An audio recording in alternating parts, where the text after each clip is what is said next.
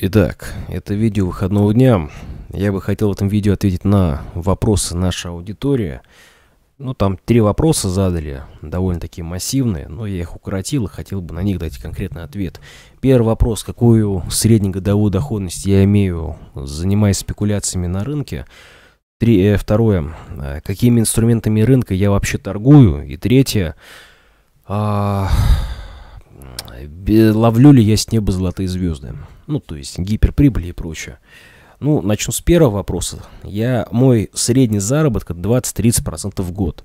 Не более не менее. Мне этого хватает, потому что я сам в одно время общался с очень такими известными трейдерами российскими, которые стояли еще у истоков биржи. РТС, РТСБ она раньше называлась, еще до дробежки РТС и ММВБ. РТСБ. Это, по-моему, был 93 год, если я не ошибаюсь. И, соответственно, они сейчас большие люди на самом деле. То есть они торгуют, работают в госбанках, я думаю, вы знаете, какие это, и они управляющие активами. Соответственно, среднегодовая доходность у них по портфелям это 15-17% годовых. Бывает меньше, бывает чуть больше. Когда как. Вот, и поэтому я говорю, что иметь 20-30% э, в год это, в принципе, оптимально, это нормально и э, довольно неплохо, я считаю. Вот, тут главное мысль – это обогнать доходность вклада. Вклада сейчас у нас доходность имеет примерно ну, 6-7% годовых. Все, что больше этого процента, это ваша заслуженная прибыль. Второй вопрос, какими инструментами рынка я торгую, это акции российские, акции американские время от времени, это акции китайские, по крайней мере китайские я сейчас ими пытаюсь торговать. Вот, и, соответственно, какой-то опыт я с этого получаю. Другое, я уже давно торгую фьючерсами, уже не первый год. Это нефть, это индекс РТС, это CI, пара рубль-доллар, это теперь уже платина, серебро, а, палладий, золото, вот.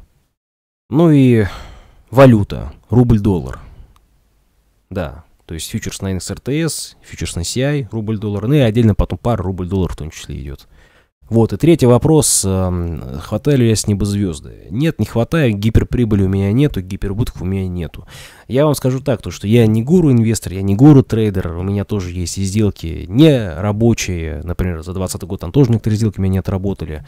За этот год у меня тоже некоторые сделки не отработали, но с широким перечнем завершенных торговых идей по российскому, американскому рынку, да, и по фьючерсам там, можете ознакомиться здесь, там, под каждым видеороликом имеется пост отработанной инвест-идеи, вот это за 21 год идея, это частично за 20 год, хотя за 20 год у меня вот тут они тоже прописаны все, вот, за 20 год, там 50 с лишним идей рынка, и за 19 год это частичная идея, которую я публично публиковал, когда еще находился на канале одного инвест-блогера российского. Хотя те, кто за мной следит уже последние 4 года, почти 5 лет, когда я еще писал на форумах, анализ рынка, мнение рынка, идеи, стратегии, сделки свои и прочее там. С, э, потом перешел я уже с форумов на канал инвестблогера одного. И потом в 2019 году я уже создал э, YouTube канал, где я вещаю последние два года на YouTube.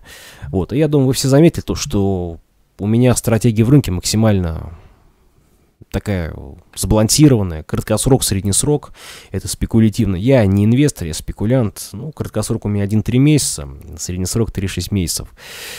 И, соответственно, я торгую преимущественно, повторяюсь, российскими бумагами. Почему? Потому что я их прекрасно понимаю, как они устроены. Потому что мы-то с вами живем в информационном поле русскоязычном, в Содружестве независимых государств, ну и теперь в Евразийском экономическом союзе.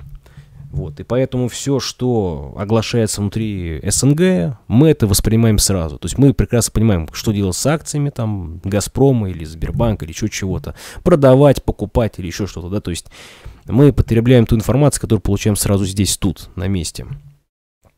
Вот. А другой аспект, э, вот я неоднократно говорил, что лучше всего торговать то, что вы понимаете. Например, российский рынок, он чем прост? Он прост тем, то, что он коррелирует напрямую за а, сырьевыми товарами, то есть нефть, газ, уголь, никель, э, палладий, платина, золото, серебро, цинк, по-моему, какие-то еще товары, ну, такие сырьевые, я имею в виду. Ну и, соответственно, они растут, рынок наш переоценивается, в частности, за счет роста нефти, газа и угля. Эти ресурсы падают в цене, наш рынок тоже снижается. Тут корреляция абсолютно простая, и она очень, ну, я бы сказал, понятная. Вот. Ну, вот даже пример приведу. А, текущий год, 21 год, для меня такой же удачный, как и 2019 год. Сейчас меня тут просто смысле сбили. А, о чем я говорил-то, забыл уже. А, вроде про 19-21 год. Я просто сейчас начну по новой, повторяю, в смысле меня сбили, и у меня сейчас голова уже как котелок горит. Короче, за 21 год, вот сейчас, да, год удачный. Просто удачный, неуспешный люди, удачный. Потому что если вам с рынка удается что-то заработать, там 30% или чуть больше 30% капиталу, запомните одно, что э, вы не гуру, вы не мастер-трейдер, вы, вам повезло. Вам просто повезло, откровенно говоря. Потому что э, когда многие тут имеют прибыль там 30, 40, 50 процентов годовых, я опять же без самоутверждения скажу то, что некоторые наши подписчики за 20 год и вот за 21 год уже заработали там по 40 процентов годовом, да, соответственно, под 51 вообще там 100 процентов срубил, но он там на плечи торговал. Вот, э, не в обиду им, естественно, я никого не хочу здесь оскорбить, э, но просто выскажу такой момент наблюдения. У некоторых из них уже крышу начинает сносить некоторые подписчики эти, которые раньше там сидели, изучали рынок благодаря моим обучающим курсам, да, там бесплатный, который на ютубе опубликован на основе биржевой торговли, а, им удалось на этом всем просто заработать за счет макроэкономики, теханализа и прочего. И у двоих уже снесло крышу. У них корона конкретно насела, теперь эти двое товарищей пытаются вбахивать около рыночный курс, там какие-то платные каналы какие-то они вводят. Я вам просто, господа, адресую сообщение, вот у кого снесло сейчас крышу. Когда придет время, вас рынок не без трусов, не без короны, а без башки оставит. Запомните одно. Если вам в рынке удалось заработать хоть какие-то деньги, неважно, 15, 20%, 30, 50, да хоть 100, плевать. Запомните одно, корону не надевайте. Я много этих корончиков видел в свое время, и я прекрасно понимаю, что нужно быть и по жизни скромным, и в рынке скромным, и в текущей деятельности тоже скромным. Потому что, поверьте, излишнее внимание, оно нафиг не нужно. Потому что потом жизнь накажет. К сожалению, это какая-то, я не знаю, то ли карма, то ли еще чего-то. Я не знаю, что это такое, но тенденция к этому реально есть. И я тоже по жизни с этим сталкивался, когда намного моложе был, когда я еще прям зеленым, призеленым был. А вот сейчас с годами уже понимаю то, что лучше лишний раз, ну, так сказать, язык с зубами придержать и лишний раз лучше себя как-то не возвышать ни перед кем и ни перед чем. Поэтому, господа трейдеры, вот, если вы этим всем занимаетесь, то не возвышайте себя. То есть удалось заработать, скажите рынку спасибо. И на себе рубашку, там, трусы, майки не рвите. Ну, в стиле того, что там гуру, не гуру. Таких в рынке гуру нету. Вот. Это тоже необходимо учитывать. И вот, подводя уже итог данному видео, смотрите еще раз. 20-30% годовых доходности больше, чем нужно. Это все. Заработали свыше 30%, поздравляю вас. Заработали 20%, поздравляю вас. Заработали 15%, поздравляю вас. Главное торговать именно теми инструментами, которые вы прекрасно понимаете. Если, например, вы торгуете там какое-то время фьючами, фьючерсами, да, а, торгуйте дальше, ради бога. И главное разбираться. Торгуйте криптовалютой, главное разбираться в том, чем торгуете. Макроэкономика, теханализ, волновой анализ, сентимент рынка и прочее, что с этим связано. Вот.